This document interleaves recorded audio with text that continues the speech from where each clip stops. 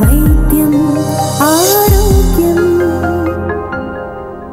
నమస్తే welcome to వైద్యం ఆరోగ్యం. కిడ్నీ ట్యూమర్ అంటే ఏంటి? అసలు కిడ్నీలో కణితొస్తుందా కిడ్నీ కణితులకు లేటెస్ట్గా ఎలాంటి చికిత్సలు అందుబాటులో ఉన్నాయి? స్టార్ హాస్పిటల్స్ కన్సల్టెంట్ యూరాలజిస్ట్ మరియు transplant surgeon doctor Gutta Srinivas garu మనతో ఉన్నారు. వారిని అడిగి పూర్తి సమాచారం తెలుసుకుందాం. నమస్కారం డాక్టర్ గారు. ముఖ్యంగా ఇవాళ కిడ్నీకి సంబంధించి మనం మాట్లాడుకోబోతున్నాం అలాగే కిడ్నీ ట్యూమర్కి సంబంధించి. First of all kidney tumour అంటే ఏంటి? కిడ్నీకి సంబంధించి చెప్పి కిడ్నీ ప్రాసెస్ చెప్పి కిడ్నీ ట్యూమర్ గురించి చెప్పండి. సో ఓవరాల్గా నేను చెప్పేది ఏంటంటే మోస్ట్ ఆఫ్ ద టైం అందరూ డిస్కస్ చేసేది ఏంటంటే కిడ్నీలో స్టోన్స్ గురించి ఎక్కువ మాట్లాడుతూ ఉంటారు. సో కిడ్నీలో స్టోన్సే కాదు కిడ్నీలో ట్యూమర్ అంటే కణితి అనేటివి కూడా ఎక్కువ శాతంలో వస్తుంటాయి. అవి చాలా డేంజరస్ ఓకే అండ్ ఈ కణతులు అనేటివి ఏదైతే ఉన్నాయో ఆ ట్యూమర్స్ అనేటివి ఇర్రెస్పెక్టివ్ ఆఫ్ ది ఏజ్ అంటే అతి చిన్న వయసుతో నుంచి అతి పెద్ద వయసు వరకు కూడా ఈ ట్యూమర్స్ వచ్చేకి ఆస్కారం ఉంది. ఇది చాలామందికి తక్కువ మందికి తెలుస్తుంది అన్నమాట దీని గురించి. అయినాక ఈ కిడ్నీ ట్యూమర్స్లో కూడా రకరకాలుగా ఉంటాయి. మనకు ఒకటి ఆ యొక్క కిడ్నీ ట్యూమరు బినైన్ అంటాం అంటే అది బాడీకి ఎటువంటి హానికరం కానిది. రెండోది మాలిగ్నెంట్ అంటే క్యాన్సర్ రకాలు. ఇవి మన కిడ్నీని డ్యామేజ్ చేస్తాయి మనిషికే ప్రాణాపాయం కలిగించేస్తాయి ఇంకా మూడవది ఇన్ఫెక్షన్స్ వలన కొంతమందికి కిడ్నీల్లో కొన్ని కణతులు వస్తాయి ఆ ఇన్ఫెక్షన్ అనేది బ్యాక్టీరియల్ ఇన్ఫెక్షన్ అవ్వచ్చు దాన్ని మామూలుగా మన భాషలో చీమ్గడ్డ అంటాము. లేదా రెండోది ఫంగల్ ఇన్ఫెక్షన్స్. అంటే ఎవరికైతే ఇమ్యూనిటీ బాగా తక్కువ ఉంటుందో క్రానిక్ డయాబెటీస్ ఉంటారో సో ఇమ్యూన్ సపరేషన్ డ్రగ్స్ తీసుకుంటారో ఇటువంటి వాళ్ళలో కిడ్నీలలో ఈ ఫంగల్ బాల్స్ అనేటివి ఫంగల్ ట్యూమర్స్ అనేటివి కూడా వచ్చే అవకాశం ఉంటుంది. ఇంకా భారతదేశానికి సంబంధించి అతి ఎక్కువ మంది కిడ్నీ ట్యూబర్క్లోసెస్తో సఫర్ అవుతుంటారు. ఇటువంటి వాళ్ళలో కూడా ఈ కిడ్నీలలో కిడ్నీకి సంబంధించినటువంటి పుండు లేకపోతే ఒక స్వెల్లింగ్ కోల్డ్ యాప్సెస్ అంటాం. అటువంటి పస్ ఫార్మేషన్ అయ్యే ఛాన్సెస్ ఉంటుంది. అంటే ఇట్లాంటివి ఏమన్నా ఉన్నప్పుడు సిమ్టమ్స్ ఏమన్నా కనిపిస్తాయంటే డాక్టర్ గారు? అంటే వాళ్ళ లోపల మామూలుగా ఇలాంటివి చేంజెస్ ఉంటాయా? సో నార్మల్గా ఈ కిడ్నీస్ ప్రాబ్లం ఉన్న వాళ్ళకి కొన్నిసార్లు మామూలుగా బినైన్ ట్యూమర్స్ అవి ఉన్నప్పుడు ఎటువంటి సిమ్టమ్స్ వాళ్ళలో ఉండవు. ఈ మధ్యకాలంలో మనం ఏమైందంటే అతి ఎక్కువ మంది for some or the other reason వాళ్ళు వచ్చి టెస్ట్లు చేయించుకుంటున్నారు. మాస్టల్ చెకప్ అంటారు. దాంట్లో ఒక అల్ట్రాసౌండ్ అబ్డమన్ అనేది కామన్గా అయిపోతుంది. ఎప్పుడైతే ఈ మాస్టల్ చెకప్ అల్ట్రాసౌండ్ అబ్డమను ఇటువంటివి వాళ్ళు చేసుకుంటున్నారో ఇన్సిడెంటల్ ఫైండింగ్స్ అంటాం. అంటే పేషెంట్కి అవి ఇంకా ప్రాబ్లం క్రియేట్ చేసే స్టేజ్ కంటే ముందే మనం దీన్ని కనిపెట్టేస్తున్నాం. మనకు దగ్గరికి వాళ్ళు అల్ట్రాసౌండ్ తీసుకొని వచ్చి నా కిడ్నీలో ఏదో ఉందని చెప్పారంటే అప్పుడు యూరాలజిస్ట్ యొక్క ఇన్వెస్టిగేషన్ స్టార్ట్ అవుతుంది. అంటే ఇది ఏ రకమైనటువంటి గడ్డ ఉండొచ్చు? అంటే ఏదైనా ఇన్ఫెక్షన్ వలన వచ్చిన గడ్డనా? లేకపోతే ఏదైనా బినైన్ ట్యూమర్ అంటే ఈ బినైన్ అనేటి టెర్మినాలజీ ఏంటంటే ఇది కిడ్నీకి కానీ మన బాడీకి కానీ ఏది హాని చేయనటువంటిది. అండ్ మూడోది దీంట్లో ఏదైనా క్యాన్సర్ లక్షణాలు ఉన్నాయా? అన్న ఆలోచనలో మేము పడతాం. ఆ గడ్డ ఎక్కడ ఉంది? ఏ సైజులో ఉంది? ఎలా ఉంది? అనే దాన్ని బట్టి మేము దాన్ని ఒక డెసిషన్ నిర్ణయానికి వస్తాం. అతి ఎక్కువ మందికి మనం ఈ కాలంలో చూస్తున్నది ఏంటంటే కిడ్నీలలో సిస్ అంటారు నీటి బుడగ లాంటిది. క్లియర్ తేటగా ఉన్న నీటి బుడగ లాంటిది అయితే మనం దాని గురించి వరి అవసరం లేదు. అది ఫాలో అప్ చేయాల్సిన అవసరం లేదు దానికి ఎటువంటి సర్జరీ అవసరం లేదు. బట్ చాలామంది భయపడుతుంటారు ఇది ఏదో బుడగ వచ్చిందంటే. బట్ అదే నీటి బుడగ లాంటి దాంట్లో లోపల ఉన్న కంటెంట్ ఏదైనా మారినా లేకుంటే దానికి ఉన్నటువంటి వలయం అంటే దానికి ఉన్నటువంటి వాల్ అనేది ఏదైతే ఉంటుందో అది ఏమైనా థిక్కనింగ్ అయిపోయినా లేకపోతే మేము ఒకసారి దీనికి సిటీ స్కానింగ్ అనేది చేస్తుంటాం డిఫరెన్షియేట్ చేయడానికి ఇది నార్మల్ బినైన్ రకమా? లేకపోతే దీంట్లో ఏదైనా క్యాన్సర్ లక్షణాలు ఉన్నాయని తెలుసుకోవడానికి సిటీ స్కానింగ్ చేసినప్పుడు మనకు క్రిస్టల్ క్లియర్గా దాంట్లో కొన్ని సూచనలు మనకు వస్తాయి. ఈ యొక్క కిడ్నీ ట్యూమర్ అనేది ఏ టైపు మనకు ఉండొచ్చు అనే ఒక ఐడియా మాకు వస్తుంది అనమాట based on that we will take a decision okay అంటే వన్స్ అది కిడ్నీ ట్యూమర్ కానీ కణితి కానీ ఉంది అని తెలిసినప్పుడు ఫస్ట్ అంటే ఎలా ఎలా ఉంటుంది ట్రీట్మెంట్ స్టేజెస్ వైజ్గా ఏమైనా డిఫరెన్స్ కనిపిస్తుంది అంటారా అంటే ఎర్లీగానే దీన్ని గుర్తించవచ్చు అంటారా? యా మొట్టమొదటిగా ఈ కిడ్నీ ట్యూమర్స్లో మనకు పెద్ద కణుతులు క్యాన్సర్ కణుతులు లేక ఇటు ఉన్న వాళ్ళు ఒక్కొక్కసారి ఏ కిడ్నీలో ఉందో ఆ కిడ్నీలో నొప్పితో రావచ్చు. రెండోది వీళ్ళకు యూరిన్లో బ్లడ్ స్పాట్ అవుతుంది. ఎప్పుడో ఒకసారి. ఆ యూరిన్లో బ్లడ్తో పాటు క్లాట్స్ కూడా వస్తాయి. ఆ క్లాట్స్ బయటకు వచ్చినప్పుడు కిడ్నీ ట్యూబ్ బ్లాక్ అయ్యి మనకి ఆ సైడ్లో నొప్పి బ్లడ్ క్లాట్స్ కూడా రావచ్చు. సో కణితి వల్ల నొప్పి రావచ్చు లేకపోతే బ్లడ్ యూరిన్లో మనకు వస్తుంది. సో ఇటువంటి సూచనలు మనకి ఏమైనా కనిపించినప్పుడు మనం ఇమీడియట్లీ అలర్ట్ అలర్ట్ అయిపోయేసి మనకు ఏదో ప్రాబ్లం ఉంది యూరిన్లో ఎక్కడో ప్రాబ్లం ఉంది. ఎక్కడైనా ఏ పార్ట్లో అయినా కానీ మన మోషన్లో కానీ గలలో కానీ ఎక్కడైనా కానీ బ్లడ్ అంటే అది ఒక డేంజర్ సిగ్నల్ అనుకోవాలి మనము. యూరిన్లో వచ్చినా కూడా ఎక్కడొచ్చినా కూడా ఆ బ్లడ్ అనేది వస్తుందంటే immediately we have to alert our self and we have to consult doctor దానికి. ఓకే ఆ రకంగా ఈ దీంతో వీళ్ళు మనకు ప్రజెంట్ చేస్తుంటారు. కొంతమందికి ఏం లేకుండా ఊరినే ఫీవర్ లాగా వస్తూ ఉంటుంది. ఆ ఫీవర్కి అప్పుడప్పుడు వస్తూ ఉంటుంది. దానికి ఎన్ని మెడిసిన్స్ వాడినా తగ్గదు. అటువంటిది ఏమైనా ఉన్నా కూడా మనం అన్ని ఎవాల్యుయేట్ చేసుకుంటే ఏదైనా దీంట్లో క్యాన్సర్ లక్షణాలు ఉన్నాయా? ఈ కిడ్నీకి ఏమైనా క్యాన్సర్ సోకిందా ఇటువంటిది మనం ఆలోచించుకోవచ్చు. సో ఇటువంటి లక్షణాలతో మనం వచ్చినప్పుడు దీనిని డయాగ్నోస్ చేయటము it is not very difficult చాలా సులభంగానే మనం కనుక్కోవచ్చు. డయాగ్నోసిస్ మెథడాలజీ ఏముంటుందంటే ఫస్ట్ ఇంతకు ముందు చెప్పినట్లు బేసిక్ అల్ట్రాసౌండ్ స్కానింగ్ అనేది మనం చేసుకోవటం వలన ఆ అల్ట్రాసౌండ్లో మనకి ఏం తెలుస్తుందంటే ఈ కిడ్నీస్ కంప్లీట్గా క్లియర్గా ఉన్నాయా? నార్మల్ నైన్ టు సెన్ టెన్ సెంటీమీటర్ సైజ్ ఉంటుంది. అదే పరిణామంలో ఉన్నాయా? లేకుంటే దీంట్లో ఏమైనా మార్పులు వచ్చాయా? ఓవరాల్ సైజు ఏమైనా పెరిగిందా? లేకపోతే ఎక్కడైనా కణుతులు లాంటివి గడ్డలు లాంటివి క్లియర్ కట్గా కనపడుతున్నాయా? ఆ కణుతుల లోపల ఉన్నటువంటి టిష్యూ అంటే వాటర్ బాడీ లాగా ఉందా? లేకపోతే ఏదైనా సాలిడ్ బాల్ లాగా అక్కడ ఉందా? ఇవన్నీ కూడా మనకు దీంట్లో కనపడతాయి. దీంట్లో కూడా మనకు ఒకవేళ ఇంకా క్లారిటీ రాలేదు అనుకుంటే మనం నెక్స్ట్ పేషెంట్ యొక్క కిడ్నీ ఫంక్షనింగ్ అంతా ఎట్లా ఉందని తెలుసుకున్న తర్వాత సిటీ స్కానింగ్ అనే ఒక టెస్ట్ చేపిస్తాం. ఈ సిటీ స్కానింగ్ అనే టెస్ట్ మనం చేసినప్పుడు దాంట్లో గడ్డలు ఎగ్జాక్ట్లీ పర్ఫెక్ట్ సైజు ఎక్కడున్నాయి ఎన్ని ఉన్నాయి ఒకసారి ఈ కిడ్నీకి సంబంధించిన క్యాన్సర్ గడ్డలు మల్టిపుల్ ఉండొచ్చు. ఒకే కిడ్నీలో కాకోకుండా రెండు సైడ్లో ఉండొచ్చు. ఈ కిడ్నీలో గ్రంథులు ఈ గడ్డలు అనేటివి పెద్దవారిలోనే కాకోకుండా చిన్న వయసులో లెస్ దాన్ టూ ఇయర్స్ ఏజ్లో కూడా మనకు ఇవి కనిపించవచ్చు ఇవన్నీ కూడా మనము ఈ అధ్యయనం చేసినప్పుడు ఎవరికైనా పేషెంట్కు మనకు ఈ ఇన్వెస్టిగేషన్ ద్వారా మనకు ఒక ఇన్ఫర్మేషన్ వస్తుంది. బేస్డ్ ఆన్ దట్ నెక్స్ట్ మనకి ఏదైనా డౌట్ ఉంది అంటే బయాప్సీ లాంటిది మనం దాన్ని చేసుకుంటే బయాప్సీలో ఇది ఏ రకమైనటువంటి ట్యూమర్ అనేది తెలుస్తుంది. But most of the time మనకు అవైలబిలిటీ ఉన్నటువంటి రేడియలాజికల్ ఇన్వెస్టిగేషన్స్ ఈ మధ్య కాలంలో మనకు పర్ఫెక్ట్గా బిఫోర్ హ్యాండ్ ఇది ఏ రకమైనటువంటి ట్యూమర్ అయి ఉండొచ్చు అనేది మనకు చెప్తుంది అనమాట బేస్డ్ ఆన్ దట్ మనం ఏం చేస్తామంటే ట్రీట్మెంట్ ప్లాన్ చేసుకొని ఎర్లీ స్టేజెస్లో ఉన్న దానికి మనము చాలా క్రిస్టల్ క్లియర్గా అర్లీగా ట్రీట్మెంట్ మొదలుపెట్టితే దాన్ని కంప్లీట్గా మనం క్యూర్ చేసేకి వీలుంటుంది. ఓకే. మమ్మల్ని ఎలాంటి ట్రీట్మెంట్ ఉంటుంది డాక్టర్ గారు? అంటే మామూలు ఇప్పటి వరకు కూడా కిడ్నీస్ అంటే కిడ్నీలో స్టోన్స్ అని వింటూ వచ్చాం. ఇప్పుడు కిడ్నీలో కణితులు కొన్నిసార్లు క్యాన్సర్ కూడా దారితీసే అవకాశం ఉందని చెప్తున్నారు. ట్రీట్మెంట్ వైజ్గా చూసినట్టయితే. కిడ్నీలో ఉన్నటువంటి కణతులకి మన ట్రీట్మెంట్ అంటే ఇప్పుడు చాలా అడ్వాన్స్డ్ మెథడాలజీ ఆఫ్ ట్రీట్మెంట్స్ వచ్చాయి. ఇంతకుముందు ఏంటంటే ఒక కిడ్నీలో ట్యూమర్ వచ్చింది అంటే ఆ మొత్తం కిడ్నీని తీసేయాల్సిన పరిస్థితి ఉండేది. ఇప్పుడు అటువంటి పరిస్థితి లేదు. ఒక కిడ్నీలో ట్యూమర్ వస్తే ఆ ట్యూమర్ వరకు దాని సరౌండింగ్ ఒక జస్ట్ ఒక లేయర్ ఆఫ్ కిడ్నీ టిష్యూ మాత్రం వరకే తీసేసి ఆ కిడ్నీని మనం కాపాడుకోగలం.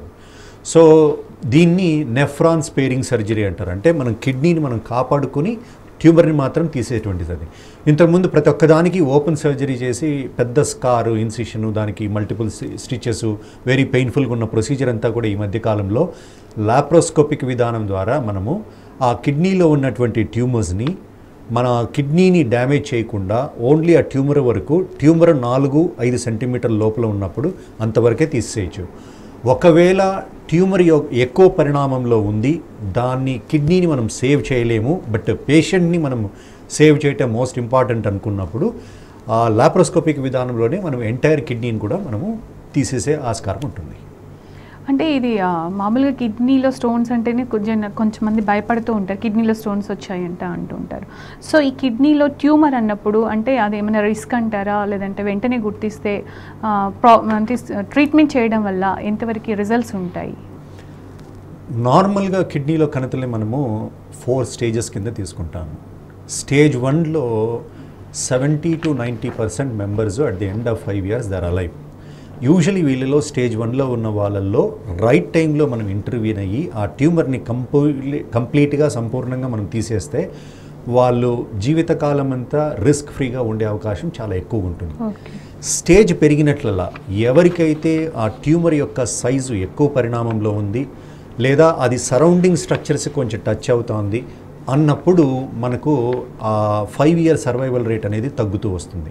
ఆ రకంగా స్టేజ్ ఫోర్ అనేది ఏంటంటే కిడ్నీలో ఉన్నటువంటి ట్యూమరు మనం నెగ్లెక్ట్ చేయటం వలన ఎప్పుడో ఒక ఏదో యూరిన్లో బ్లడ్ వచ్చింది అదేదో కొంచెం వేడి చేసింది లేకపోతే ఇంకోటి ఏదో అనుకొని మనం దాన్ని పట్టించుకోకుండా మనం సరైన టెస్టులు చేసుకోకుండా ఉంటే అది ఒక సెంటీమీటర్ రెండు సెంటీమీటర్లు ఉన్నప్పుడు మనకి ఏదైతే సిగ్నల్ ఇచ్చిందో దాన్ని మిస్ అయితే ఒకసారి అది ఏకంగా పది సెంటీమీటర్ల వరకు వెళ్ళిపోతుంది మనకి తెలియకోకుండానే.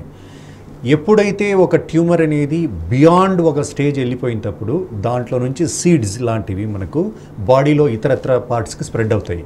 ముఖ్యంగా ఇవి మన యొక్క లంగ్స్కు మన లివర్కి మన స్ప్లీ మన బోన్స్కి ఇటువంటి అన్నిటికీ స్ప్రెడ్ అవుతుంది. ఎప్పుడైతే ఒక ట్యూమర్ అనేది ఈ వేరే ఆర్గన్కి స్ప్రెడ్ అయిన తర్వాత ఆ మనిషి యొక్క సర్వైవల్ రేట్ అనేది కంప్లీట్గా తగ్గిపోతుంది. ఫైవ్ ఇయర్ సర్వైవల్ రేట్ అనేది స్టేజ్ ఫోర్ క్యాన్సర్లో లెస్ దాన్ టెన్ పర్సెంట్ ఉంటుంది. అంటే స్టేజ్ని బట్టి ఉంటుంది. ఎంత త్వరగా గుర్తిస్తే అంత మంచి రిజల్ట్ ఉంటుంది. ఎంత అర్లీగా మనం ఇంటర్వ్యూన్ అయ్యి ఎంత తొందరగా మనం కంప్లీట్గా దాన్ని అది ఏమీ లోపల దాని ఆనవాళ్ళు ఏమీ లేకుండా కంప్లీట్గా రిసెక్ట్ చేసి తీసేస్తే మన వాళ్ళని కంప్లీట్గా నయం చేసిన వాళ్ళు అవుతాం. డాక్టర్ గారు కిడ్నీ ట్యూమర్స్ గురించి కిడ్నీ కణితి గురించి మనం మాట్లాడుకుంటున్నాం కదా. అసలు కిడ్నీ కణితిలు క్యాన్సర్స్ రావడానికి కారణం ఏంటంటారు? సో కొన్ని కిడ్నీ క్యాన్సర్స్ మనకు ఫెమీలియల్ అంటాం. ఆ ఫెమీలియల్ అనేది క్యాన్సర్స్ ఏంటంటే దీంట్లో వంశపారంపర్యంగా జెనెటిక్ డిఫెక్ట్స్ వలన కొన్ని రకాలైనటువంటి క్యాన్సర్స్ వస్తుంటాయి కిడ్నీలో. అవి కొద్ది మందిలోనే చూస్తుంటాం. బట్ ఎక్కువ మందిలో నిర్దిష్టమైన కారణం అని తెలియదు కానీ బట్ కొన్ని డెఫినెటివ్ కారణాలు మాత్రం ఐడెంటిఫై చేశారు. ఒకటి స్మోకింగ్ అనేది ఈజ్ వన్ రీజన్ కిడ్నీలో క్యాన్సర్లు ఎక్కువగా రావటానికి. రెండోది ఒబేసిటీ వలన ఎక్కువ శాతం మందిలో ఈ కిడ్నీలో క్యాన్సర్లు వస్తున్నాయి అనేది ఒకటి డెఫినెట్గా గ్రహించారు. మూడోది బీపీ కంట్రోల్ లేకున్న వాళ్ళు ఈ హైపర్ టెన్షన్ వలన కిడ్నీలో ఉన్నటువంటి స్ట్రక్చర్స్ డ్యామేజ్ అవ్వటం వలన క్రానిక్గా ఈ ప్రాబ్లం అక్కడ మనకు ట్రామా జరుగుతూ ఉండటం వల్ల కిడ్నీలో క్యాన్సర్స్ వచ్చే అవకాశం ఉందని తర్వాత కొన్ని రకాలైనటువంటి ఇండస్ట్రీస్లో పనిచేసే వాళ్ళు అంటే ప్రింటింగ్ ప్రెస్ కానివ్వండి లేకుంటే హెవీ మెటల్ ఇండస్ట్రీస్ కానివ్వండి ఆస్బెస్టాస్ ఇండస్ట్రీస్ కానివ్వండి ఇట్లా more than hundred chemicals have been identified దీనివల్ల కూడా కిడ్నీ క్యాన్సర్ ఇన్సిడెన్స్ అనేది పెరిగిపోతుందని. సో క్రానిక్ ఇన్ఫ్లమేటరీ సిచ్యువేషన్స్ ఏవైనా కూడా కిడ్నీస్లో ఉన్నప్పుడు అటువంటివి కూడా ఈ కిడ్నీలో క్యాన్సర్ రావడానికి కారణమవుతుంది అని ఒక అవగాహన ఇప్పుడు వచ్చారనమాట సో ఈ ఈ రకంగా మనం చెప్పుకుంటూ పోతే ఒకటి స్మోకింగ్ రెండు కంట్రోల్గా లేకున్నటువంటి హైపర్ టెన్షన్ సో మూడోది ఒబేసిటీ. ఈ మధ్య కాలంలో మనం ఒబేసిటీ సిగ్నిఫికెంట్గా ఇంక్రీజ్ అవుతుంది. మూడోది కెమికల్స్ వలన. కొన్ని రకాలైనటువంటి కెమికల్ కెమికల్ ఇండస్ట్రీలో లేకుంటే మనం ఈ మధ్య కాలంలో విపరీతమైన కెమికల్స్కి మనం ఏంటంటే అటువంటి ఫుడ్స్ తినటం వల్ల ఎక్స్పోజ్ అవుతున్నాం. దానివల్ల మనకు ఈ కిడ్నీ క్యాన్సర్లు అనేటివి వచ్చే కారణం ఉంటుంది. అలాగే ఇంతకుముందు మీరు హెరిడేటరీ వల్ల కూడా వచ్చే ఛాన్సెస్ ఉన్నాయన్నారు. అలా హెరిడేటరీ వల్ల ఉంది అని తెలిసిన వస్తుంది అని ఛాన్సెస్ ఉన్నాయన్నప్పుడు ముందు ఏమన్నా టెస్టులు చేయించుకోవడం వల్ల పర్సనల్గా గుర్తించవచ్చు అంటారా ఇప్పుడు ఈ హెరిడిటరీ క్యాన్సర్స్లో మనం ఎవరైతే ఎవరి ఎవరి ఫ్యామిలీస్లో ఇటువంటివి వెరీ యంగ్ ఏజ్ రెండు కిడ్నీలలో మల్టిపుల్ ట్యూమర్స్ రావటము వాళ్ళకు కొన్ని కొంతమంది కొన్ని కొన్ని లక్షణాలు ఉంటాయి. సో ఈ కిడ్నీ క్యాన్సరే కాకోకుండా బాడీలో వేరే పార్ట్స్లో కొన్ని చేంజెస్ కనపడతాయి. సో అటువంటి వాళ్ళకు కనపడినప్పుడు వాళ్ళ నియర్ రిలేటివ్స్ వాళ్ళ ఫ్యామిలీ మెంబర్స్ని వాళ్ళందరికీ కూడా జెనెటిక్ అనాలిసిస్ అనేది మనం చేస్తే వీళ్ళ వంశంలో ఈ వంశపారంపర్యంగా వచ్చే డిజీజ్ ఉందా లేదా అనేది మనకు తెలుస్తుంది. అటువంటి వాళ్ళని మనం ఏం చేస్తామంటే ఈ హై రిస్క్ ఇండివిజువల్స్ అంటాం కొంతమందిని. ఇప్పుడు ఎవరై ఫ్యామిలీస్లో అయితే కిడ్నీ క్యాన్సర్ వస్తుందో ఆ హై రిస్క్ ఇండివిజువల్స్ని మనం ఈ స్క్రీనింగ్ ప్రోగ్రాంలో ప్రతి ఆరు నెలలకి సంవత్సరానికి స్కాన్ చేసుకోవటం. ఇంతకుముందు నేను కిడ్నీలో కొన్ని రకాలైనటువంటి నీటి బుడగలు వస్తాయి కొన్ని దాంట్లో డేంజరస్ ఉన్న నీటి బుడగలు వస్తాయని చెప్పాను. వాళ్ళను కూడా రెగ్యులర్గా స్క్రీనింగ్ ప్రోగ్రాంలో పెట్టుకొని every six months one year screening చేసుకుంటూ ఉంటే వీళ్ళలో మనం చాలా ముందుగానే వీళ్ళలో ఏదైనా చేంజెస్ వస్తే కనుక్కునేకి అవకాశం ఉంటుంది. అలాగే ఇలాంటి ప్రాబ్లమ్స్ ఏవి రాకుండా ఉండాలంటే ఏమైనా జాగ్రత్తలు తీసుకోవడం వల్ల ప్రివెంట్ చేసుకోవచ్చు అంటారా? ప్రాబ్లం రాకుండా? సో ఇంకొక ముఖ్యమైన జాగ్రత్త ఏంటంటే నేను ఇంతవరకు చెప్పిన దాంట్లో I forgot to mention about pain killer medication this is very very dangerous ఈ పెయిన్ కిల్లర్ మెడికేషన్స్ వలన కూడా కిడ్నీలో కణుతులు లేకుంటే క్యాన్సర్ వస్తుందని గుర్తించారు. సో ఇప్పుడు ఇంతకుముందు మనం అనుకున్న దాని ప్రకారం మనం మన జాగ్రత్తల్లో ఉండాలి అంటే ఏంటంటే మనం తీసుకునే ఆహారం ఎటువంటిది? సో ఇప్పుడు మనం ఒబేసిటీ అనేది ద నెక్స్ట్ బిగ్ థింగ్ మన భారతదేశంలో what we are going to face ఇది already the western world face చేస్తున్నారు. మన దాంట్లో కూడా చాలా ఎక్కువ మందే చేస్తున్నారు. బట్ ఇంక ఫ్యూచర్లో కూడా ఇది పెరిగే అవకాశం ఉంది. సో దానికి చెక్ పెట్టాలంటే ఏంటంటే మనం మన డైటరీ హ్యాబిట్స్ మార్చుకోవాలి. అండ్ మన ఫిట్నెస్ లెవెల్ పెంచుకోవాలంటే మన రెగ్యులర్ ఎక్సర్సైజ్ అనేది మనము it has to become a programme of the family not ఎవరో ఇంట్లో ఒక uh, వన్ ఇండివిజువల్ ఏదో మార్నింగ్ లేసి ఆయన ఏదో వాక్ వెళ్ళి చేసుకున్నట్లు కాదు. The entire family one hour అనేది ఆ ఫ్యామిలీ మెంబర్స్ అందరూ కూడా ఎక్సర్సైజ్ చేసుకోవాలి. మామూలుగా పిల్లలకి పెద్దలందరూ కూడా ఏంటంటే ఈ ఫుడ్స్ తినాలి లేకుంటే ఈ టైం పడుకోవాలి లేకుంటే ఈ టీవీ చూడకూడదు ఇట్లాంటివన్నీ మనం ఏదైతే మనం మానిటర్ చేస్తున్నామో ఎక్సర్సైజ్ కూడా మన పిల్లాడు. కూడా ఈ రకంగా ఎవ్రీడే ఒక half an hour one hour workout చేస్తున్నారు లేని చూసుకునేది చాలా ఇంపార్టెంట్ అన్నమాట. తర్వాత ఈ బ్లడ్ ప్రెషర్ ఉన్న వాళ్ళు definitely they have to keep their blood pressure under check. మూడోది సాల్ట్ ఇంటేక్ అనేది ఏదైతే ఉందో మనం as a family we need to restrict మనం సాల్ట్ ఇంటేక్ని మనం తగ్గించుకొని మనం అట్లా ఉంటే ఫ్యూచర్లో మన పిల్లలు కూడా దాన్నే ఫాలో అవుతారు ముందుకెళ్తారు. మనమే దాన్ని రూల్ బ్రేక్ చేసి మనం ఇష్టం వచ్చినంత సాల్ట్ ఈ మధ్యకాలంలో ఉన్న జంక్ ఫుడ్స్లో అంతా కూడా the oils that they are using in the junk food the amount of salt they are అంటే వాళ్ళు దాంట్లో వేస్తున్నటువంటి ఉప్పు ఎక్కువ అధిక శాతంలో ఉంటుంది. వీటన్నిటి వలన కూడా ప్రాబ్లం ఉంటుంది. అయినాక మనం we should not depend too much on animal food ఈ మధ్యకాలంలో most of the people they would prefer అంటే రోజుకు రెండు సార్లు అయినా మూడు సార్లు అయినా నాన్ వెజ్ అనేది ఎంజాయ్ చేస్తున్నారు. ఇలాంటి జంక్ ఫుడ్స్ ఎంజాయ్ చేస్తున్నారు. లేకపోతే ఈ ఏరేటెడ్ డ్రింక్స్ అవి ఇవి కార్బొనేటెడ్ డ్రింక్స్ ఇట్లాంటివన్నీ కూడా చాలా ఎక్కువ విరివిగా మనం మన హెల్త్ని మనం కరెక్ట్గా కాపాడుకోవాలంటే వీటివన్నిటిని కూడా ఏదో మితంగా అప్పుడు ఒకసారి తీసుకుంటే పర్లే కానీ దాన్నే రోజువారీగా తీసుకోకుండా అనిమల్ డిపెండెంట్ ఫుడ్ మీద ఎక్కువ కాకుండా మనం ప్లాంట్ బేస్డ్ డైట్ మీద ఎక్కువ కాన్సన్ట్రేట్ చేయాల్సిన అవసరం ఉంటుంది. రైట్ కాలర్ ఉన్నారు బెంగళూరు నుంచి భానుకుమార్ గారు. భానుకుమార్ గారు డాక్టర్ గారు ఉన్నారు. మీ ప్రాబ్లం ఏంటో చెప్పండి. Sir good afternoon sir good afternoon అండి sir how the kidney will affected on malignant BP sir నేను చెప్తానండి. సో మీరు ఆ, అడుగుతున్నది ఏంటంటే మ్యాలిగ్నెంట్ అంటే ఏంటంటే క్యాన్సర్ని మ్యాలిగ్నెన్సీ అంటారు. సో మేము ఈరోజు టాపిక్ అంతా కూడా మాది డిస్కషన్ ఏంటంటే కిడ్నీ క్యాన్సర్ల గురించే. కిడ్నీలో ట్యూమర్స్ కిడ్నీలో కణతులు అంటారు. దీని గురించి డిస్కషన్ నడుస్తుంది అప్పటి నుంచి. సో కిడ్నీస్లో కూడా మనకు అంటే క్యాన్సర్ రావడానికి కారణాలు ఏంటి? అవి ఎప్పటి నుంచి క్యాన్సర్ కూడా వస్తుందా? ఎలా వస్తుంది? ఎలా వస్తుంది? ఏ ఏజ్లో వస్తుంది? అనేది దాని గురించే మనం అప్పటి నుంచి టాపిక్ డిస్కస్ చేస్తున్నాం. రైట్ తన క్వశ్చన్ కూడా అదే యాక్చువల్గా అలాగే ఇట్లా టర్మినాలజీ తెలియక కూడా చాలా మంది అంటే కన్ఫ్యూజ్ అవుతూ ఉండొచ్చు డాక్టర్ గారు. అంటే కిడ్నీస్లో స్టోన్స్ అనేది వింటారు కిడ్నీ ప్రాబ్లమ్స్ గురించి మాట్లాడుకుంటారు. కిడ్నీ క్యాన్సర్ ఉంటుందా కిడ్నీలో కూడా ట్యూమర్స్ వస్తాయా అని చాలా మందికి తెలియకపోవచ్చు.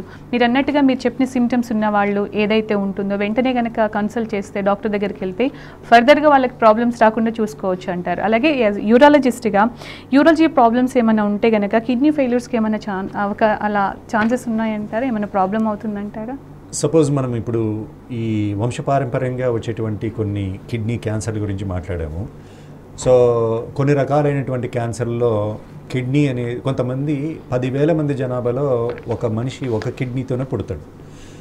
ఇటువంటి సింగిల్ సాలిటరీ కిడ్నీ ఉన్న వాళ్ళు కానీ రెండు కిడ్నీలు ఉండి రెండు కిడ్నీల్లో కూడా రెండు సైడ్ల క్యాన్సర్లు వచ్చిన వాళ్ళు కానీ ఇప్పుడు క్యాన్సర్ వలన ఒకవేళ ఆ కిడ్నీ వాళ్ళు కోల్పోవాల్సి వస్తే ఇంకా ఫ్యూచర్ అంతా వాళ్ళు డయాలసిస్ మీద డిపెండ్ అవ్వాల్సిన అవసరం ఉంటుంది. సో అలాగే కొన్ని సింపుల్ ప్రాబ్లమ్స్ ఉన్నాయి. అంటే ఒక ఇన్ఫెక్షన్ అనుకోండి. మనం ఆ ఇన్ఫెక్షన్ అనేది కొద్దిమందికి చిన్న బేబీ ఉన్నప్పటి నుంచి వస్తుంటాయి. రిపీటెడ్గా రికరెంట్గా వస్తుంటాయి. మనం రైట్ టైంలో దాన్ని ఐడెంటిఫై చేసి ఏ ప్రాబ్లం వల్ల వస్తుందనేది రెక్టిఫై చేయకుంటే రిపీటెడ్ ఇన్ఫెక్షన్తో కిడ్నీ యొక్క కండరం దెబ్బతిని అవి కూడా కిడ్నీ ఫెయిల్యూర్కి అయ్యే ఛాన్స్ ఉంది. డాక్టర్ కాలర్ ఉంది కాల్ తర్వాత మనం. మాట్లాడదాం. అలివేలు గారు నల్లగొండ నుంచి. అలివేలు గారు డాక్టర్ గారు ఉన్నారమ్మా మీ ప్రాబ్లం ఏంటో నేరుగా చెప్పండి. ఆ, చెప్తా మేడం. చెప్పండి. హలో? హలో చెప్పండి. సార్ నాకు రెండు కిడ్నీలలో నీటి బుడగలు ఉన్నాయి సార్. ఇక్కడ హాస్పిటల్ పోయినా. ట్రీట్మెంట్ ఏం లేదు అంటున్నారు సార్. బాగా సిస్టమ్ ఉన్నాయి నీటి బుడగలు ఓకే ఓకే. సో నేను ఇంతకు ముందు కూడా చెప్పాను కిడ్నీలో అతి కామన్గా మేము చూసేది ఏంటంటే నీటి బుడగలు యూజువల్గా నలభై సంవత్సరాలు దాటిన తర్వాత ఈ నీటి బుడగలు అనేటివి ఒక కిడ్నీలో రెండు మూడు నాలుగు ఐదు ఆ రకంగా వస్తుంటాయి. అతి కొద్ది మందిలో ఈ నీటి బుడగలు అనేటివి మొత్తం కొన్ని వందల వేల నీటి బుడగలు ఒక కిడ్నీలో ఉంటాయి. నార్మల్గా మనకు అరకిలో కూడా లేనటువంటి కిడ్నీ. కొన్నిసార్లు మేము ఏంటంటే పది కిలోలు పదిహేను కిలోలకు రీచ్ అయ్యేది చూసాం. ఏమంటే ఈ నీటి బుడగలు. దీన్ని ఏడీపీకేడి అంటారు. దీంట్లో ఏమవుతుందంటే అన్ని నీటి బుడగలు రావటం వల్ల కిడ్నీ యొక్క కండరం డ్యామేజ్ అయ్యి వీళ్ళలో విపరీతమైనటువంటి బ్లడ్ ప్రెషర్ పెరుగుతుంది. కిడ్నీ ఫెయిల్యూర్కి దారితీస్తుంది. బట్ అందరూ దాని గురించి భయపడాల్సిన అవసరం లేదు. చిన్న చిన్న నీటి బుడగలు కొద్దిపాటిగా రెండు కిడ్నీలలో ఉన్నా కూడా అవి సింపుల్ సిస్ట్ అంటాం.